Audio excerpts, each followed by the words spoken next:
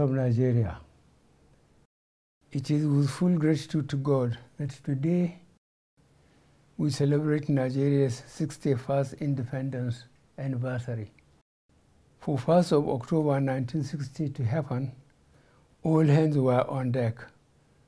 East, West, North all came together to celebrate freedom. Today should not only serve as a reminder of the day the British handed over the reins of power to Nigerians, but also unified Nigerians from all ethnic groups, religions, and regions. Today, despite the challenges we face, most Nigerians still maintain the spirit of 1st October. That positive outlook and determination to make Nigeria a peaceful and prosperous nation. It is due to this collective attitude that Nigeria definitely continues to remain a united and indivisible nation. Fellow Nigerians, the first 18 months have been some of the most difficult periods in the history of Nigeria. Since the Civil War, I doubt whether we have seen a period of more heightened challenges than what we have witnessed in this period. Our original priorities for 2020 were to continue stabilizing our economy following the deep recession while restoring peace in areas confronted with security challenges.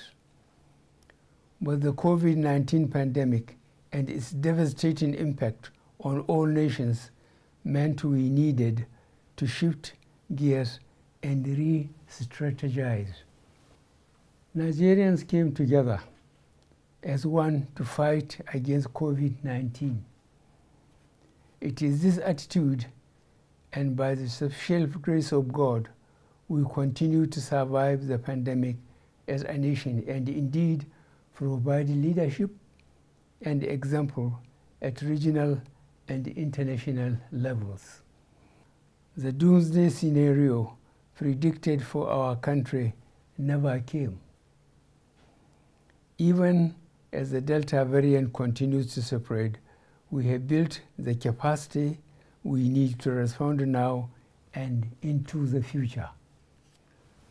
I will therefore appeal to Nigerians not to take COVID lightly adhere to public health and social measures, put your mask on, and get vaccinated.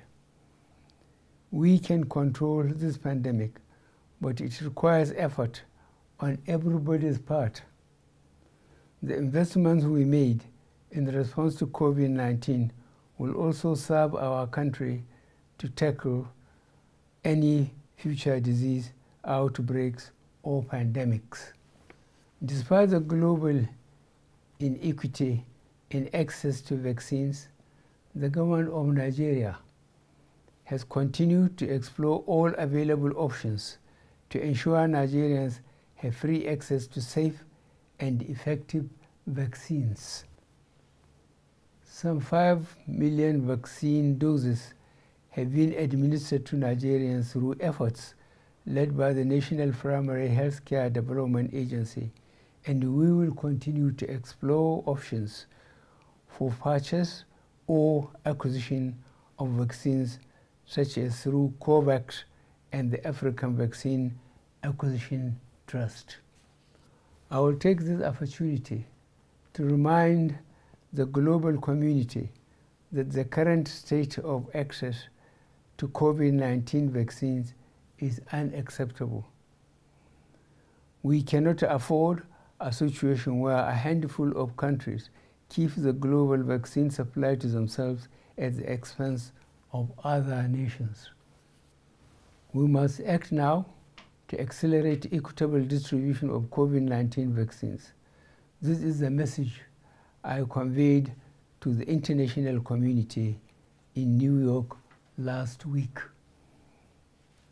As we push to source vaccine for our immediate needs, we shall invest more to support our pharmaceutical and research agencies to come up with ideas for locally developed vaccines. Should another pandemic arise in the future, our question is simple. Will Nigeria be ready? Accordingly, I have directed the Ministries of Finance, Budget and National Planning, Health, Education, Science and Technology to work with Nigerian and international pharmaceutical companies and research organizations to enhance Nigeria's domestic pharmaceutical capacity. Already, the Nigerian Sovereign Investment Authority is raising a 200 million United States dollars fund for this initiative that will complement the Central Bank of Nigeria's ongoing 85 billion naira healthcare sector research and development intervention scheme to support local researchers in the development of vaccines and drugs to combat communicable and non-communicable diseases, including COVID-19. Fellow Nigerians, this is just the beginning. Similarly, on our approach to food security, I am proud to announce Nigeria has commenced its journey to pharmaceutical independence. This journey, which will take years to achieve, but will ultimately result in Nigerian-based companies developing the active pharmaceutical substances and the competence needed for us to make our own drugs and vaccines. Fellow Nigerians, as our economy continues to open after COVID-19 related lockdowns, we have also seen the resurgence of insecurity in certain parts of the country. In the last four months, the gallant men and women of the military and security agencies have made tremendous progress in addressing these new security challenges. We are taking the fight to our enemies from all angles and we are winning. Earlier this year, I launched the Integrated National Security and Waterways Protection Infrastructure, the Deep Blue Project, which is designed to secure Nigerian waters up to the Gulf of Guinea. I am happy to inform Nigerians that we have taken delivery of key assets for this project and very soon its impact will be felt. In the northeast region alone, over 8,000 Boko Haram terrorists have surrendered. To support our surge approach to fighting banditry, the Nigerian armed forces have recruited over 17,000 personnel across all ranks.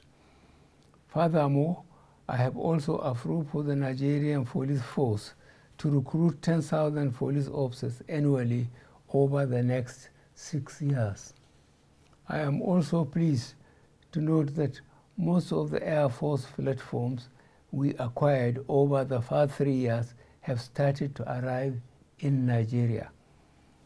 These will positively impact on security operation in all parts of the country.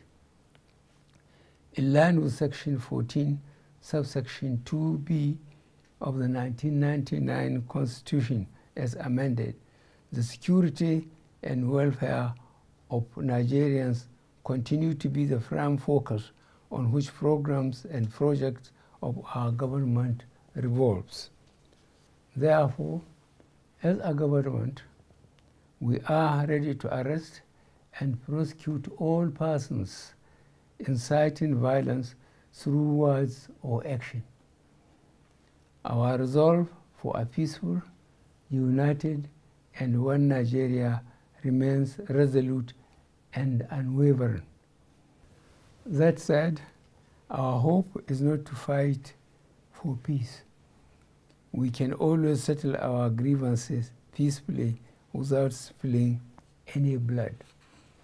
I will therefore take this opportunity on this special day that symbolizes the unity and oneness of our great nation, to ask all Nigerians to embrace peace and dialogue, whatever your grievances.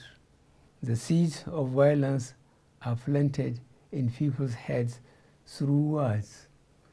Reckless utterances of a few have led to losses of many innocent lives and destruction of properties.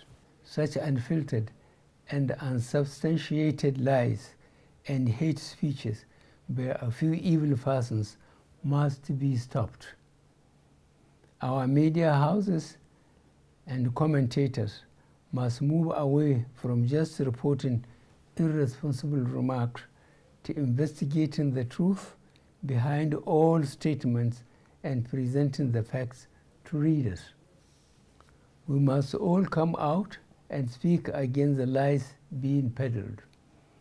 At this point, I would want to sincerely appreciate the large number of our traditional, religious, and community leaders, as well as other well-meaning Nigerians who, in their various fora, are openly spreading the message of peaceful coexistence and conflict settlement through dialogue in their respective communities.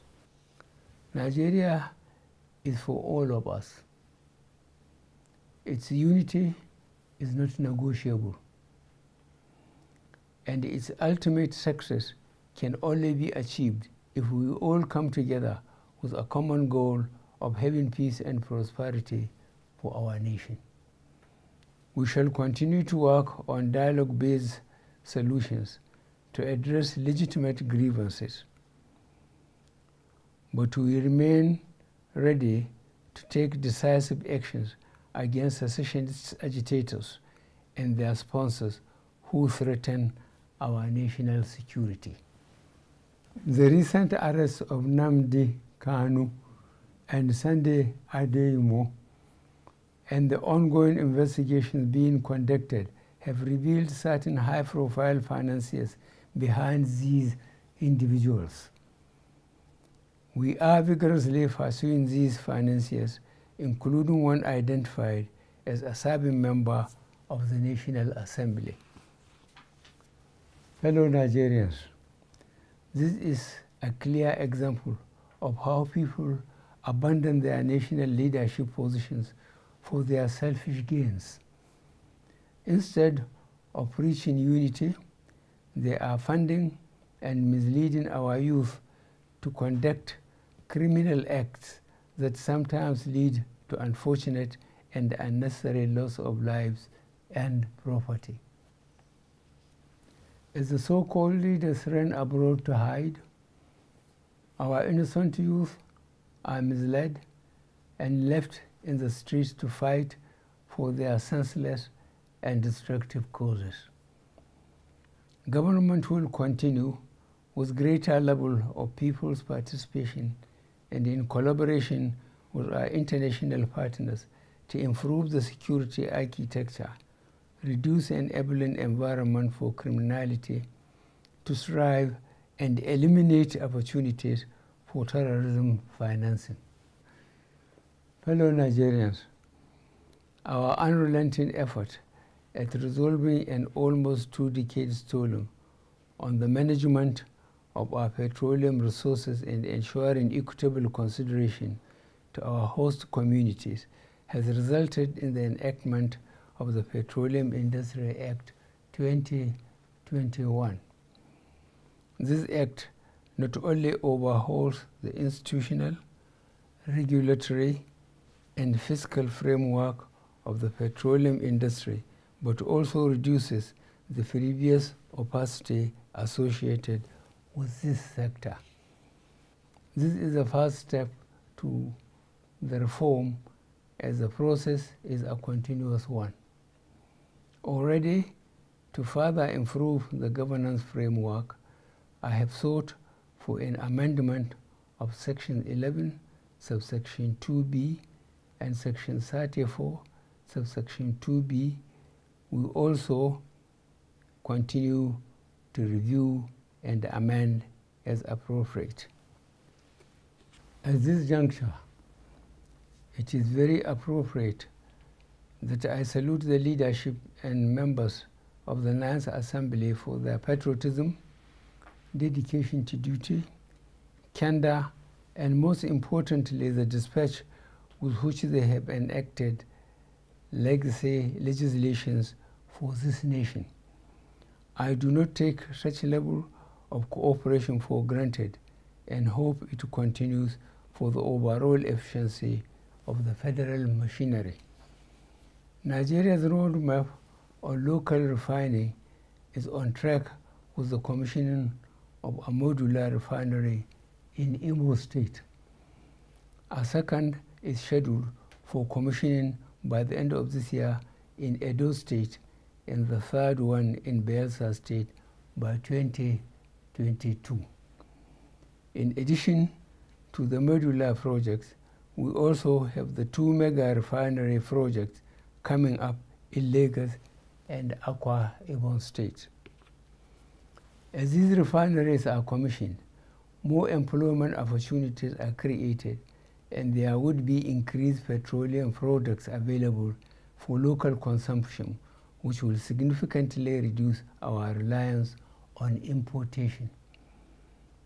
In further demonstrating our plan to reduce our dependence on oil and tapping from our enormous gas resources, this administration remains committed to the Decade of Gas initiative, which is aimed at bringing to focus the utilization of our huge gas resources. Already, we are supporting and promoting various gas-based projects, including NLNG Train 7 and the Mega Urea and Ammonia projects in the South-South region. As we continue to optimize and enhance our oil and gas sector, I am also proud and delighted to state that our economic diversification strategy remains on course with the persistent increase in non-oil sector contribution to GDP. We recovered from economic recession in quarter four of 2020 with a GDP growth rate of 0.11% and grew by 0.51% and 5.01% in real terms in the first and second quarters of 2021. The agricultural sector remains key to our economic diversification efforts as the sector has been a consistent driver of the non-oil sector contributing 22.35% and 23.78% to the overall GDP in the first and second quarter of 2021. We have seen significant private sector investment in almost all areas of the agricultural value chain, and these have continued even during the COVID-19 pandemic. Unfortunately, as our food production capacity has increased, food prices have been going up due to artificial shortages created by middlemen who have been buying and holding these essential commodities for profiteering. To address this, I am hereby directing the Ministry of Agriculture and Rural Development to rehabilitate the National Food Reserve Agency and also work with security agencies, the Nigerian Commodity Exchange, and the National Assembly to find a lasting solution to these disruptive and unpatriotic hoarding activities. To further enhance food production, we have completed several new dams and are in the process of rehabilitating several river basin development authorities to enhance groundwater supply for rain-fed agriculture as well as surface water for irrigation agriculture. The water projects we completed between 2015 to 2020 have improved Nigeria's access to potable water to 71% between 2015 and 2020. This means 12.5 million additional Nigerians now have direct access to potable water. Fellow Nigerians, this government remains concerned by the significant transportation infrastructure deficit we have. Addressing the challenges our commuters and lorry drivers face on the motorways is still a high priority to us. To complement our budgetary allocations, the Presidential Infrastructure Development Fund and the Road Infrastructure Development and Refurbishment Investment Tax Credit Scheme, we recently established a 15 trillion naira infrastructural corporation of Nigeria Limited, which is expected to begin operation by the fourth quarter of this year. Infraco will also focus on leveraging resources on a public-private sector basis for infrastructural development in Nigeria. We hope through these innovative programs, the additional cost burden on individuals and businesses because of inefficient logistic operations will be reduced and ultimately eliminated. We currently have over 13,000 kilometers of roads and bridges under construction all over the country, of which a fair percentage have been completed. As we fix our roads, we also continue to extend and upgrade Nigeria's railway network with the notable opening of the Warri to Itakpe standard gauge rail line. To increase capacity, we have introduced more locomotives, coaches, and wagons, including the establishment of our wagon assembly in Kajola, Ogun State. The seaports, however, still remain problematic. The effect of our various interventions to reduce the gridlock and inefficiencies have been slower than expected. However, the implementation of the electronic call-up system as well as the conversion of the Lily Pond container terminal to a vehicle transit area will further enhance the ease of cargo evacuation. Our prioritization of developing Nigeria's digital economy has positively impacted the contribution of the ICT sector to our GDP. We hope our present efforts to ensure all Nigerians use a national identification number as well as our planned rollout of the fifth generation network technology will ensure we stay in line with the global innovation curve as a nation. As we embrace the digital economy in Nigeria, we are fully aware of the prospects and the perils. Our policies have been developed to enable Nigerians to take advantage of the prospects and avoid the perils of digital technologies.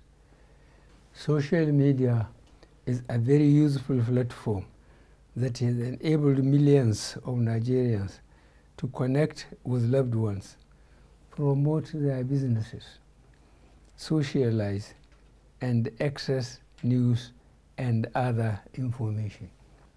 However, recent events have shown that the platform is not just an innocuous platform for information dissemination. Rather, some users have misused the platform to organize, coordinate, and execute criminal activities, propagate fake news, and promote ethnic and religious sentiments. To address these negative trends, the federal government of Nigeria suspended the operation of Twitter in Nigeria on June 5, 2021 to allow the government put measures in place to address these challenges. Following the suspension of Twitter operations, Twitter Incorporated reached out to the federal government of Nigeria to resolve the impasse. Subsequently, I constituted a presidential committee to engage Twitter to explore the possibility of resolving the issue. The committee, along with its technical team, has engaged with Twitter and have addressed a number of key issues. These are A, national security and cohesion, B, registration, physical presence and representation, C, fair taxation, D, dispute resolution, and E, local content. Following the extensive engagements, the issues are being addressed and I have directed that the suspension be lifted, but only if the conditions are met to allow our citizens continue to use the platform for business and positive engagements.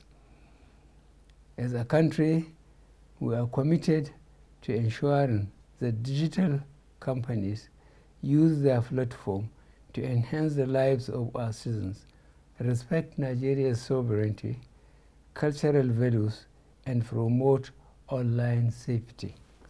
Nigeria's progressive diplomacy continues to manifest through growing numbers of highly placed Nigerians in positions of regional and global influences. Very recently, Nigeria won election for the position of Commissioner for the expanded political, peace, and security affairs of the African Union. Our persistent calls for a reorganized and reformed ECOWAS to make the organization citizen sensitive paid off with the acceptance by the authority of heads of state and government of ECOWAS to commence the agreed reforms in the organization ahead of the next election of the organization principal officers in December this year. As the African Development Bank, World Trade Organization, and indeed the United Nations footprints of Nigeria's diplomacy are clearly evident. We remain confident that our goal of lifting 100 million Nigerians out of poverty in 10 years is achievable. Considering the positive impact of our social investment programs, I recently approved an increase in the number of NPower program beneficiaries from 500,000 to 1 million. Out of this, 510,000 have started the program while the competitive selection process for onboarding the outstanding 490,000 beneficiaries is in progress. The National Homegrown School Feeding Program is currently being implemented in 35 states of the Federation and the FCT. Over 103,000 women have been engaged and empowered as cooks under the program, while about 10 million pupils are being fed across public primary schools in the country. To grant increased access to credit to the most poor and vulnerable, I have directed an increase in the disbursement of government enterprise and empowerment program loans to an additional 1 million beneficiaries, laying more emphasis on the small-holding farmers through the Farmers' Money Program. Fellow Nigerians, for far too long, we have neglected the centrality of the civil service as the engine of governance, and this has manifested in ineffective service delivery. There is widespread discontent and disillusion about the efficiency and probity of our civil service. It is for this reason that we are refocusing the Nigerian civil service to provide world-class service to run our country. The youth of this great country remain propellants for our today and provide guarantees that we will have a secure tomorrow. It is for this reason that I remain focused on expanding opportunities for their participation in politics and governance. Recent appointments of young people into positions of authority and their track record so far gives me confidence that we need to bring more of them into governance and this I promise to do.